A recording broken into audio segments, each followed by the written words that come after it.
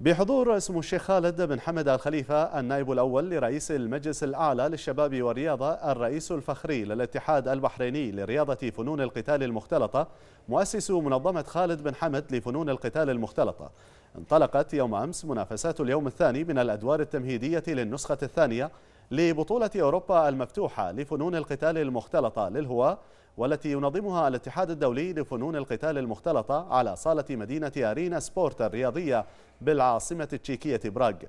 وقد تابع سمو الشيخ خالد بن حمد جانبا من المنافسات التي اشتملت على النزال الذي جمع مقاتل فريق خالد بن حمد لفنون القتال المختلطة للهواء حمزة زيرورا والمقاتل الأوكراني رومان كولوفون بمناسبة بل بمنافسات وزن 61 كيلوغرام. وقد هنأ سموه المقاتل زريرا بالفوز الذي حققه في المواجهة وبتأهله لدور الثمانية.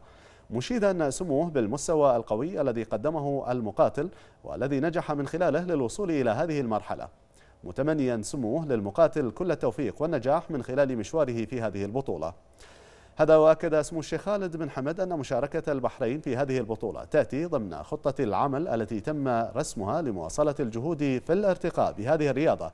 من خلال تطوير مستويات المقاتلين عبر اكتسابهم المزيد من الخبرة والاحتكاك في البطولات الدولية.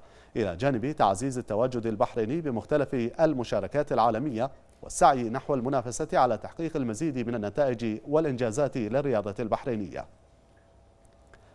مضيفا سموه أن هذه المشاركة تمنحنا الاطلاع على الخبرات الموجودة على الصعيد صعيد الفرق المشاركة والتي يمكن الاستفادة منها في سبيل تطوير رياضة فنون القتال المختلطة بالبحرين.